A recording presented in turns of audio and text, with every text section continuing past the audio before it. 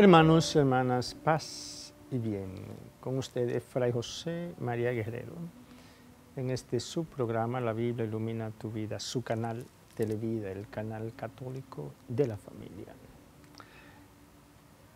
Y su escuelita de espiritualidad, contenido la filiación divina. Hermanos, hermanas, martes santo. Entramos el domingo eh, con el Domingo de Ramos, estamos acompañando a Jesús, acompañando a Jesús en su última semana histórica, la última semana histórica de, de Jesús sobre la faz de la tierra, su última semana. Y en esta semana, hermanos hermanas, Jesús salva a la humanidad. Jesús redime a la humanidad. Jesús restaura la humanidad. Esta humanidad que se apartó de Dios y se sigue apartando de Dios. Pero la humanidad tiene ya la, tiene la posibilidad, tiene la puerta abierta para reivindicarse esa humanidad eres tú, hermano. Esa humanidad soy yo. Aprovechemos esa puerta abierta. Esa puerta que el mismo Dios ha abierto. La puerta de la redención. La puerta de la muerte y resurrección de Jesús, de su pasión la pasión que provoca su muerte dolorosa. Última semana histórica de Jesús. Una semana que la vivió en su patria, la capital de, del pueblo de Israel, Jerusalén. Jerusalén, Jerusalén, que mata a los profetas y apedrea a los que te son enviados.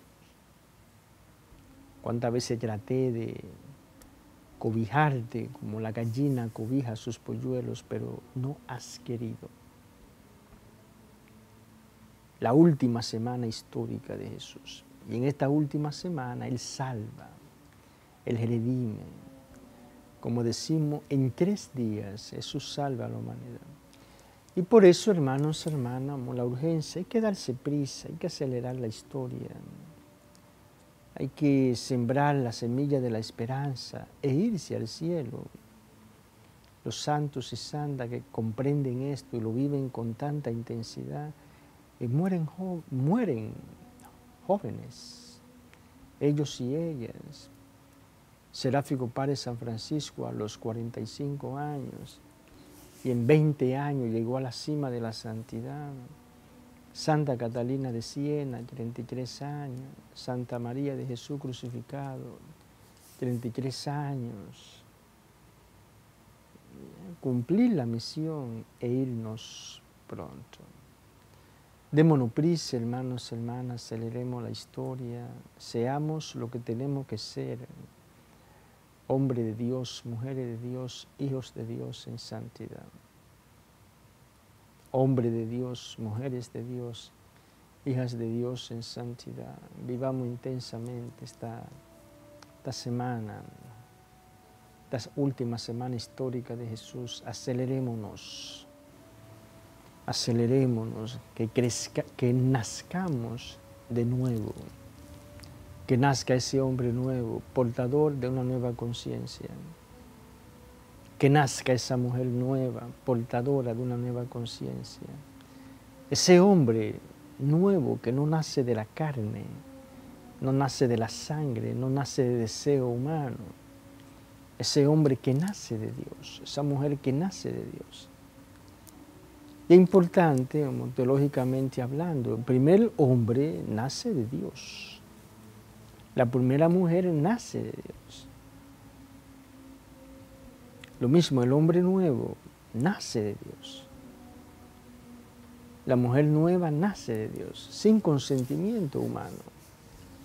No es un nacimiento natural. de la relación de un hombre con una mujer. Es un nacimiento sobrenatural, nacemos de Dios. Nos entronca con la sustancia de esta doctrina. La palabra vino a los suyos y los suyos no la recibieron.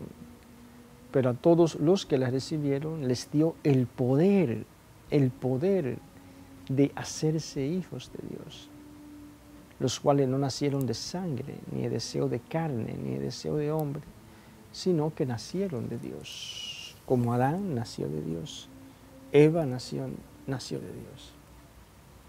Bien, hermanos hermanas, vivamos intensamente esta última semana histórica de Jesús, nazcamos de nuevo, dispongámonos a nacer de nuevo, abrámonos a esa plenitud de gracia pascual, la gracia de la redención, la gracia de la filiación divina, que se cumpla en nosotros el texto paulino.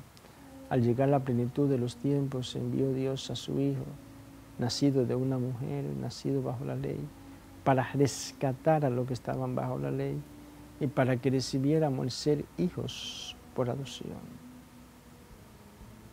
redención y filiación divina, los dos motivos de la encarnación y de la Pascua. Redención y filiación divina, los dos motivos de la, de la, um, muerte de Cristo, de la Pascua y de la encarnación. Hoy tenemos el Salmo 46, 2 salmo, iniciando el Salmo 46. Dice, Dios es nuestro refugio y fortaleza, socorro en la angustia, siempre a punto. ¡Wow! Vivamos, hermanos, hermanas, son importantes que la palabra de Dios encuentre eco en nuestros corazones. Dios es mi refugio y mi fortaleza. Mi salmo personalizado. Socorro en la angustia, siempre a punto. Todo esto es la filiación divina, hermanos y hermanas. Cuando somos conscientes de que Dios es papá, es mi refugio. Mi refugio en los momentos de peligros, de angustia, de agobio. Mi fortaleza la fortaleza, o sea, el, refugio de, una, de un pueblo, de un conglomerado humano, fortaleza. Allí no penetran los dardos del enemigo. En el refugio nos sentimos seguros, porque los dardos del enemigo, los instrumentos feroces, mortales del enemigo, no pueden penetrar en un refugio se dio nuestro refugio y fortaleza. Socorro en la angustia, siempre a punto, siempre a punto, siempre presto, siempre presente. Precisamente hoy me decía una, joven eh, su convicción, que Dios, es Dios la ama incondicionalmente y siempre cuida de ella. Qué hermoso. Me decía esta joven, yo tengo mi propia visión de Dios. Para mí Dios me ama incondicionalmente y siempre me cuida. La filiación divina. Dios me ama incondicionalmente, pero es Dios, el, el máximo poder, poder supremo, la inteligencia suprema, la sabiduría suprema, la ciencia suprema, el grande, ese Dios es mi papá. Luego, ¿a quién temer? Desaparece todo temor. Hermanos, hermanas, busquemos internalizar la palabra de Dios. Pero todo esto, hermanos, hermanas, se realiza cuando el Espíritu Santo internaliza en nosotros la filiación divina. Por eso este texto de Pablo hay que leerlo y orarlo permanentemente. Dice Pablo, el Espíritu, el mismo Espíritu se une a nuestro Espíritu para dar testimonio de que somos hijos de Dios. Es el Espíritu Santo quien se une a mi espíritu para hacerme consciente de la verdad de la filiación divina. Espíritu Santo, no tarde, date prisa, acelera la hora, internaliza en mí la verdad de la filiación divina. Internaliza en mí la verdad de la filiación divina. Para que ya yo pueda internalizar todo esto, todos estos textos sagrados, como este, Dios es nuestro refugio y fortaleza, como la confianza en Dios. Socorro en la angustia, siempre a punto. Dios siempre está ahí presente. Nunca llega tarde. Dios nunca llega tarde, siempre está ahí a punto, a punto, qué hermoso. Hermanos, hermanas, eh, démonos prisa, aceleremos la historia, que en esta última semana histórica de Jesús nosotros nos adentremos en ella sin distracción, sin distracción. Vivamos bien esta semana sin distracción, viviendo el ritmo de la iglesia, la liturgia, la santa misa, el rosario, el vía crucis. Vivamos la última semana histórica y que lo que Jesús realizó en esa semana se haga eficaz en mi vida que, aquello que Jesús realizó en esa última semana histórica se haga eficaz en nuestras vidas, la redención y la filiación divina. Sería eso lo fundamental, hermanos y hermanas, en esta última semana histórica de Jesús. Que lo que Jesús realizó en esta semana se haga eficaz en nuestras vidas la redención y la filiación, el perdón de todos sus pecados, la superación de todas esas alienaciones y el nacimiento del hombre nuevo, de la mujer nueva.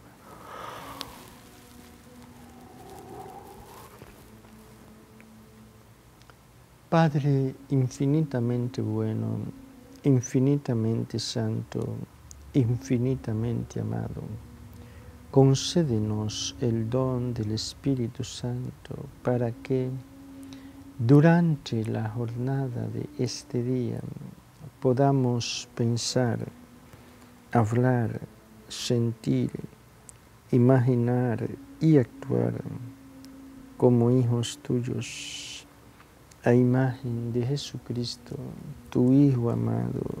Amén.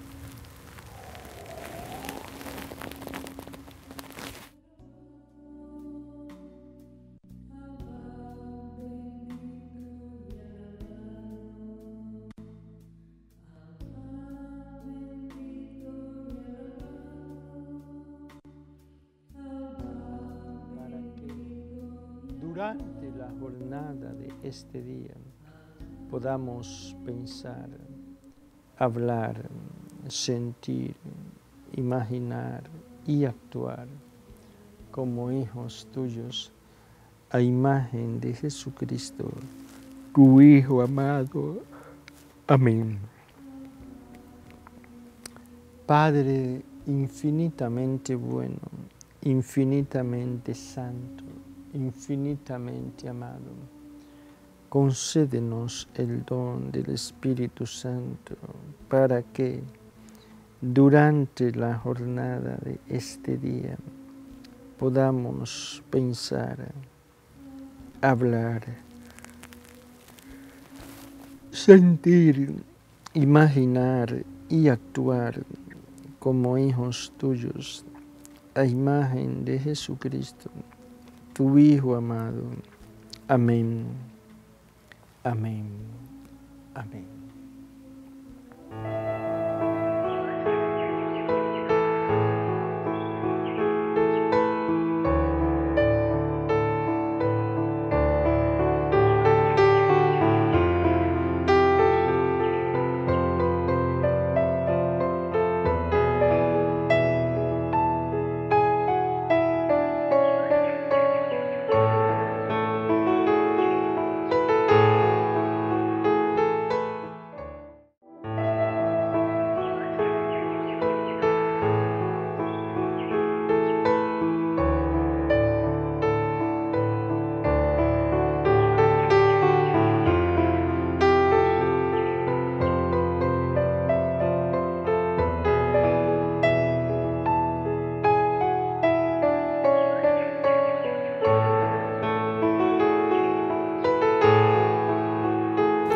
Qué bien, hermanos hermanas, estar con ustedes de lunes a sábado en este subprograma La Biblia Ilumina tu Vida.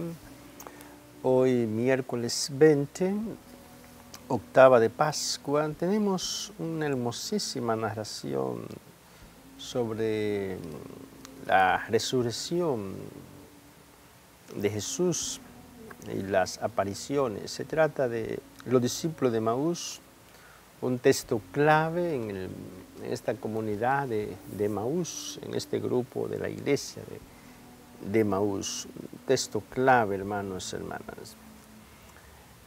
Eh, se trata de Lucas capítulo 24 del 13 al 35. Lucas 24 del 13 al 35.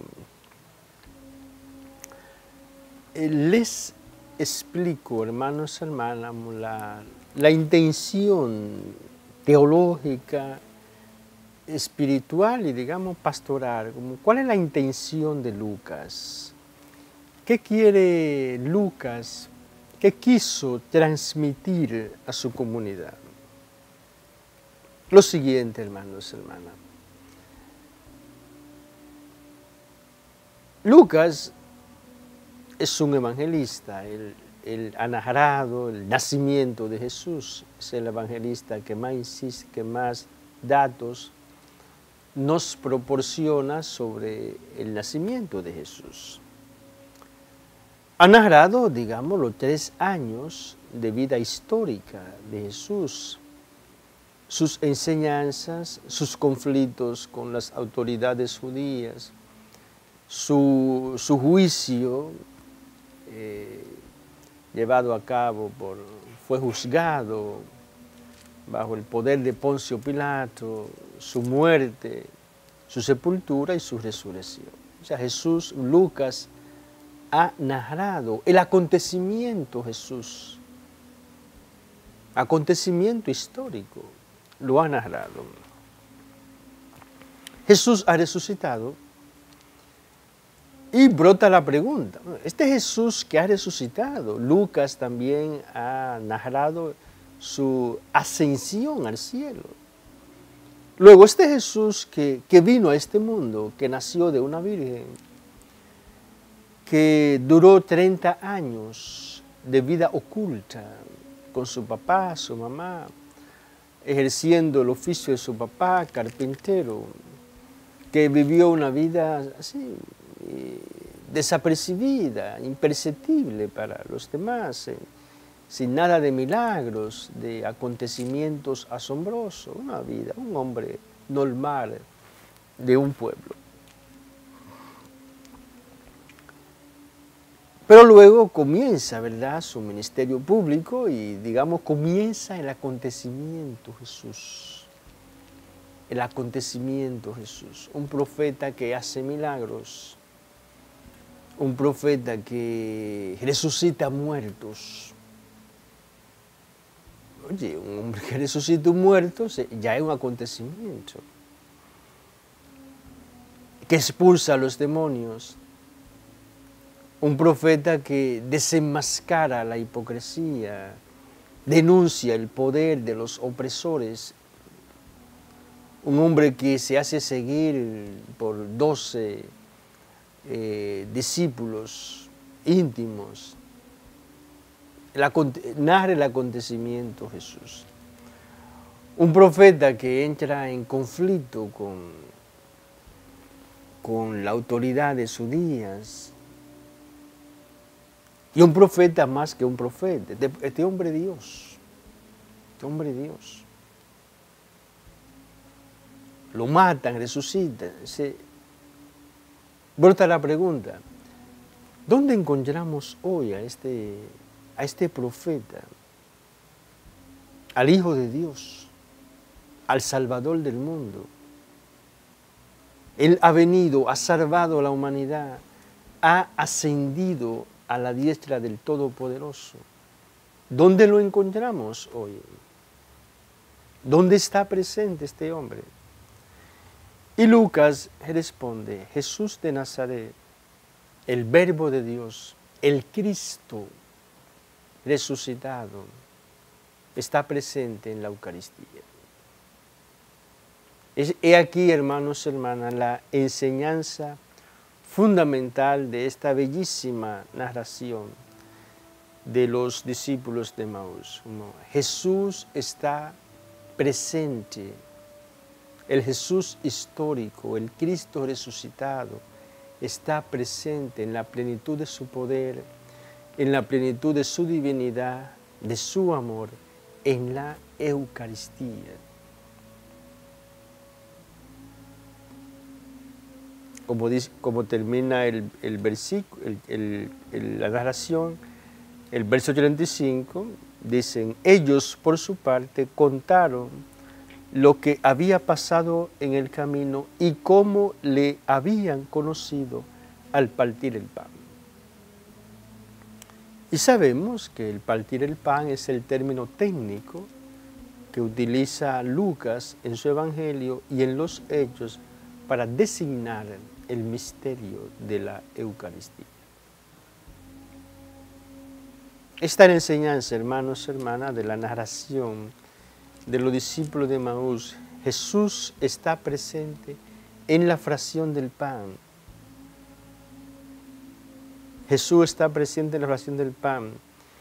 Y Juan responde también a esta pregunta, ¿verdad? Dígame una pregunta de, de, de los discípulos que no conocieron al Jesús histórico, que no convivieron con Él, que no lo vieron pero creen, hay una comunidad, ahora hay una comunidad que es testigo del acontecimiento Cristo, la comunidad de las mujeres, la comunidad apostólica.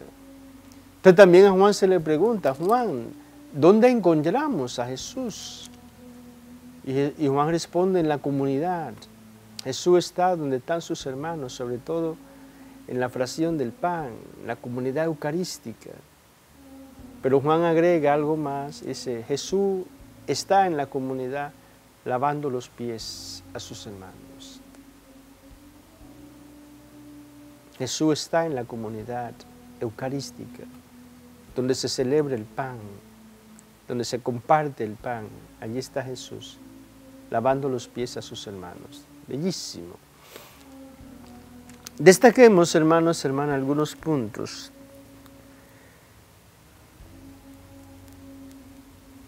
Hay todo un proceso, hermanos, hermanas, de catequesis. Un proceso, un proceso, una, hay, todo, hay una catequesis progresiva.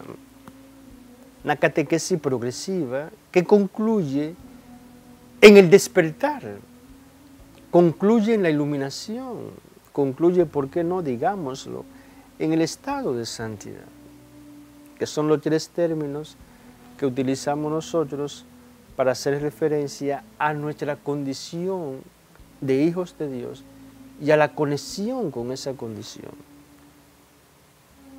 Iluminación, cuando llegamos ya, ¿verdad?, a la conciencia plena, una persona que llega a la conciencia plena de que es hija de Dios, decimos, es una persona que está en la iluminación, es una persona que ha despertado, es una persona que está en el estado de santidad. Entonces la iluminación se da en los discípulos de Maús cuando en el verso 31, entonces se les abrieron los ojos.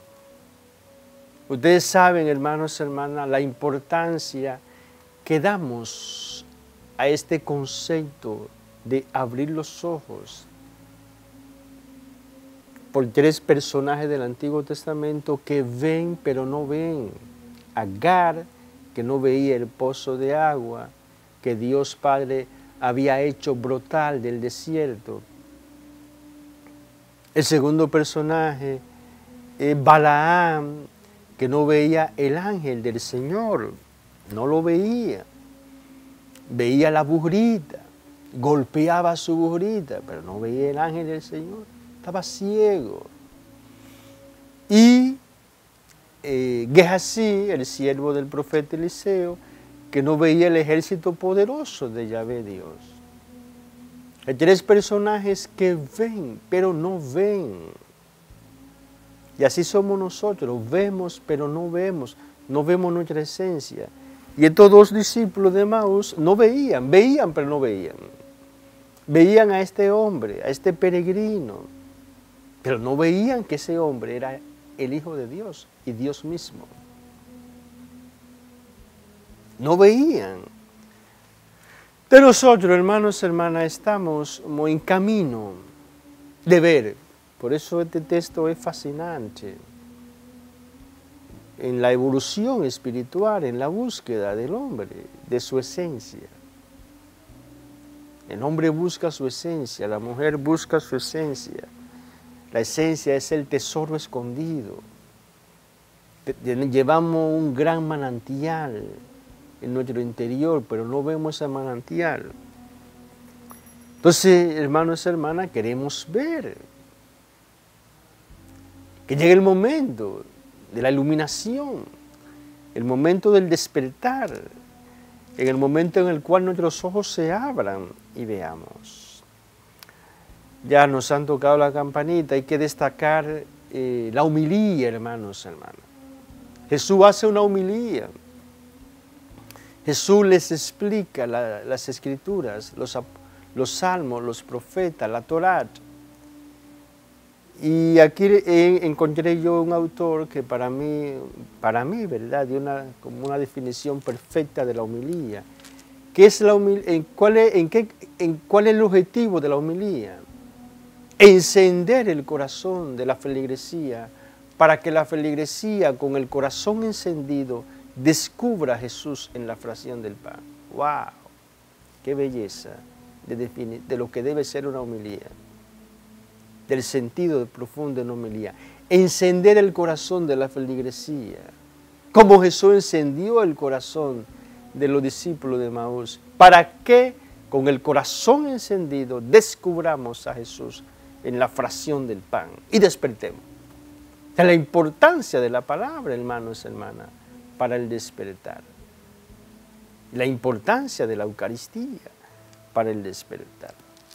Bien, hermanos hermanas, les invito a leer detenidamente este hermosísimo texto, de texto clave, texto fundante del grupo de Maús, texto clave importantísimo en la teología, en la espiritualidad, en el sacramento de la Eucaristía. Jesús está presente en la Eucaristía y si participamos plena, activa y conscientemente en la Eucaristía, nuestros ojos se abren y descubrimos a Jesús en la fracción del pan.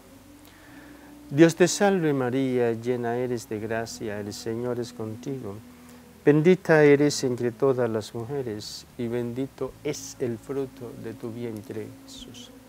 Santa María, Madre de Dios, ruega por nosotros pecadores, ahora y en la hora de nuestra muerte. Amén. Gloria al Padre y al Hijo y al Espíritu Santo, como era en el principio, ahora y siempre, por los siglos de los siglos. Amén. Amado, eterno y adorado Jesús, eres el Hijo del Dios vivo Eres el buen samaritano que nunca pasa de largo ante una necesidad humana. Te suplicamos por la intercesión de María Santísima de San José, que tú pongas en cada televidente, en cada miembro de nuestras familias, el vino que tú sabes hace falta. Tú que vives y reinas por los siglos de los siglos. Amén. Jesús, en ti confío. Jesús, en ti confío. Jesús, en ti confío. Que el Señor Dios les bendiga y les guarde, les muestre su rostro, tenga piedad y misericordia de ustedes, les mire benignamente y les conceda su paz. El Dios que bendijo a las santas mujeres, Sara, Rebeca, Raquel, y la sobra de sus manos, nunca parte de ustedes su bendición paterna. Y el Dios que bendijo a Abraham, a Isaac y a Jacob, nunca parte de ustedes su bendición paterna. Y la bendición de Dios Todopoderoso, Padre, Hijo, Espíritu Santo, descienda sobre ustedes, su familia, trabajo, proyectos y permanezca para siempre. Amén.